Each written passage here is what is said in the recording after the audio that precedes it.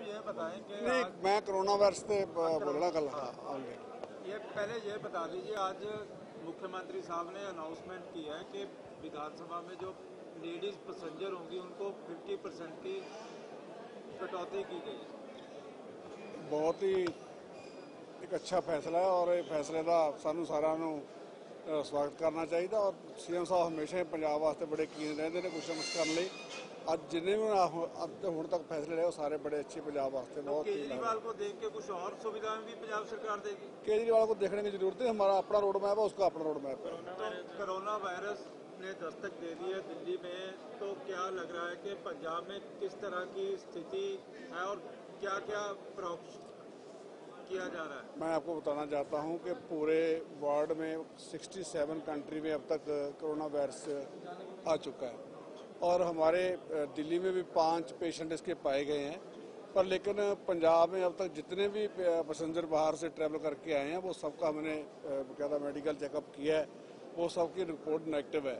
لیکن پھر بھی ہماری سرکار نے کل پریکاشن کے لیے الرٹ جاری کر دیا ہے کہ ان کو سبھی ہاسپٹلوں کو ہم نے بولا کہ آپ اپنی جو ٹیم میں ہمیشہ پرپیرڈ رکھیں۔ بقیادہ جو یونیفارم ہے، جو جو بھی ہم کو پرکوشن لینی پڑے گی اس کی ضرورت پڑے گی ہم کو حاضر ہونی چاہیے۔ تو سدھو صاحب یہ بتائیں کہ جس طرح سے پاکستان میں کرونا وائرس نے دستک دے دی ہے لاہور میں کرونا وائرس کے کچھ کیس ڈیٹیکٹ بھی ہوئے ہیں تو کیا کرتارپور صاحب پر اس کا اثر دکھائی دے گا؟ یا کرتارپور صاحب میں کس طرح کی ویوستھا کی گئی ہے کہ پنجاب انٹر نہ ہو؟ دیکھو بات ایسے ہے کہ ویسے ہر بارڈر پہ ہماری ایک ٹیم اپوائنٹڈ ہے۔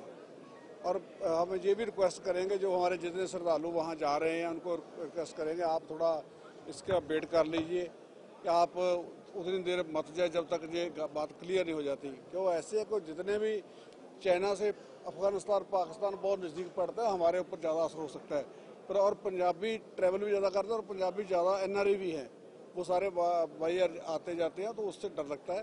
پر لیکن ابھی تک پنجاب میں سب کچھ ٹھیک ٹھاک جس طرح سے ایران ایئر لائن نے پاکستان میں اپنی جو ایئر لائنز ہیں بند کر دی ہیں تو کیا لگ رہا ہے کہ کہیں نہ کہیں جو سینٹر گورنمنٹ ہے اس کو سٹیپ اٹھانے چاہیے کرتارپور صاحب کے سم... نہیں نہیں بات ایسی ہے جو جو سردالو جا رہے ہیں تقریباً موسٹلی پنجاب سے جا رہے ہیں۔ جہاں ہمارے جو پنجاب کے جہاں رہنے والے جا رہے ہیں۔ پاکستان بھی آ رہے ہیں۔ وہ آ رہے ہیں ان کو سب کو ہم جو ریکویسٹ کریں وہ ماتا ہیں کیونکہ ایسے کہ حالات کافی خراب ہیں۔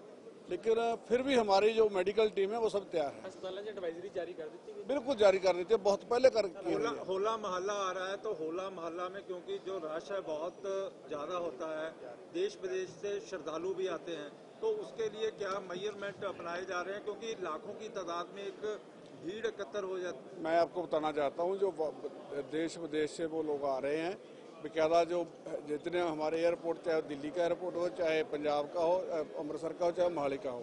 اور جتنے دلی ایئرپورٹ پہ لوگ لینڈ کرتے ہیں ان کا سب کا ڈیٹا ہمارے پاس آ جاتا ہے۔ ان کو باقاعدہ ہم آئسولیشن دیکھتے ہیں پہلے کوئی پرابلم تو نہیں نہیں تو ہاسپٹل لگ جاتا نہیں اسے گھر پہ آئسولیشن کرتے ہیں۔ تو وہ کوئی کام خراب نہ ہو۔ پر بھی نظر رکھی جائے گی۔ بالکل رکھی جائے گی رکھی جائے گی۔